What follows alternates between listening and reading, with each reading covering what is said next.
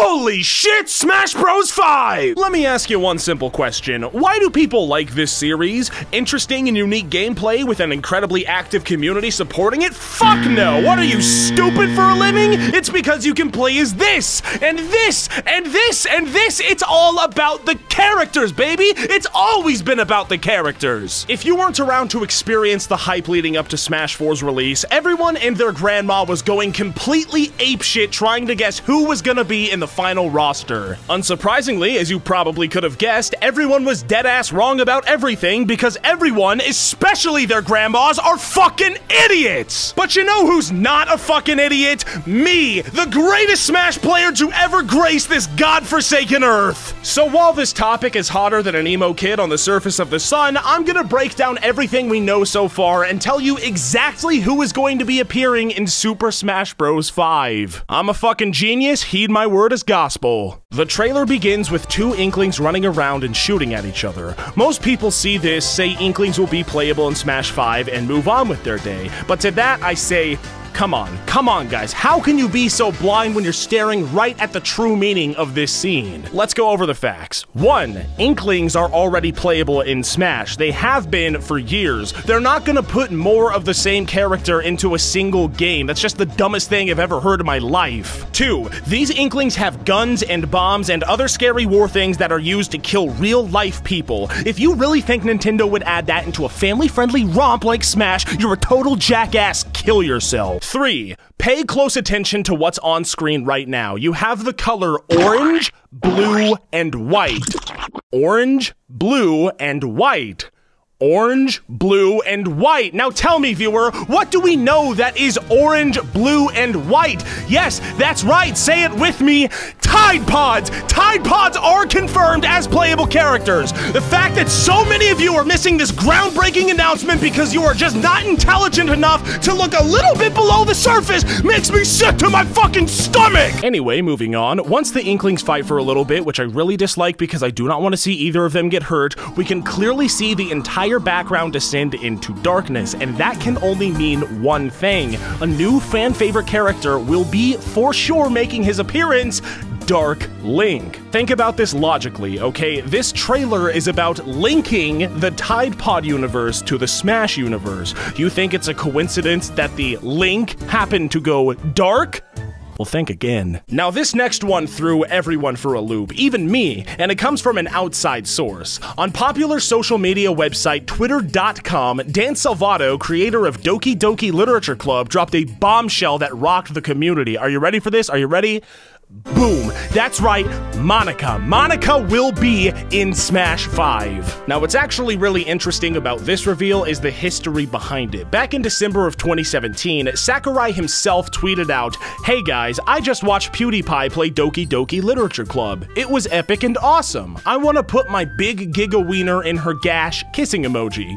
Nobody could have guessed that this was a secret message confirming her months in advance, but now it all comes together and makes perfect sense. Going back to the trailer, we start getting into the real juicy stuff where characters are confirmed left and right. Literally, the scene switches to two close up shots of shadowy figures. Now, the internet is on fire trying to figure out the identities of these two, but again, the proof is right here in the pudding, guys. Tell me, what landmark game was announced to be ported to the Switch right before Smash 5's reveal? That's right, Undertale. Two figures are shown back to back as a duo, you could say. Now, who do we know from Undertale that is always together as a duo? People, open your eyes and see the truth. Sans and Papyrus. This is 100% Sans and Papyrus being shown.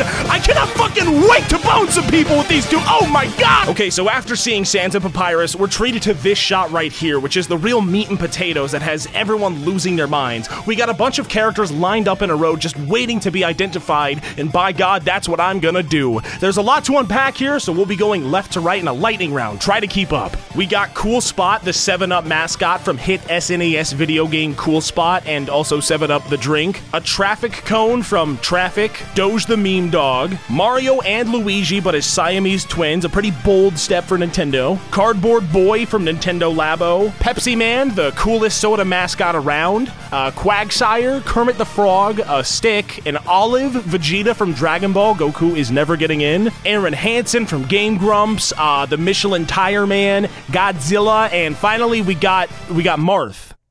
That one's that one's just Marth.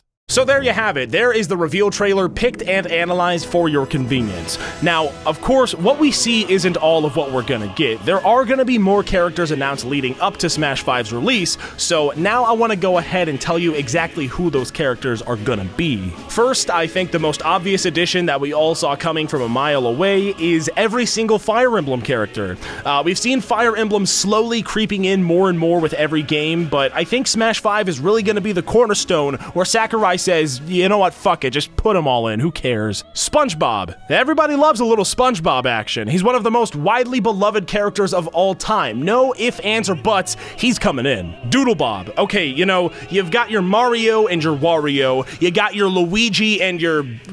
I was gonna say Waluigi, but everyone knows he'll never, ever, ever get in. But uh, anyway, I'm sure we're going to see SpongeBob versus Doodlebob. It's an age-old conflict the world needs to see, and Nintendo knows it. They're gonna deliver. Waluigi. Uh, I, I changed my mind. They're, they're gonna put Waluigi in there. The line piece from Tetris, one of the most popular games ever. You need the best character to make an appearance. It's simple as that. Uncle Jesse. Everyone remembers Full House Tournament Fighter for the SNES. It's an iconic fighting game that changed the way the world looked at gaming forever.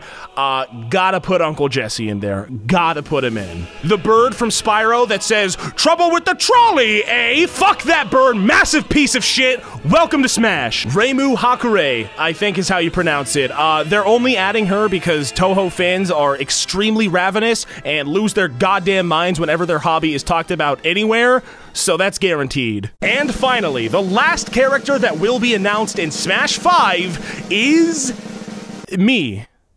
It's it's me, Weegee the God. Uh, Nintendo actually reached out to me since they like my work so much, and they promised to put me in the game. I wasn't supposed to tell you that, but you know what? I like you guys more than Nintendo, so I don't even care, bro. And there it is, every single character that's gonna be in the new Smash game. I'd like to just go on record as stating that if I'm wrong about a single one of these characters, I will tattoo a cock and balls directly onto my forehead, but the balls will be the Smash balls. That that is that is a Weegee the God promise right there. Do make sure to share this video around with other Smashers while you have the chance. Uh, there's a pretty high chance Reggie Fils-Aimé himself will come to my door and shoot me in the head. Uh, they probably don't want all this information coming out, but again, damn it, I, I gotta do what I gotta do, you know? And if you disagree with anything I've said in this video, uh, fuck you. Just fuck you. All right, there it is. So thanks for watching. How to Sands is coming sometime in 2018. I'll see you all then. Woo! Wait, wait, wait. Hang on. What? Dunk, Dunkey, Dunkey made basically the same exact video just yesterday? Like the same as this? What? Fuck!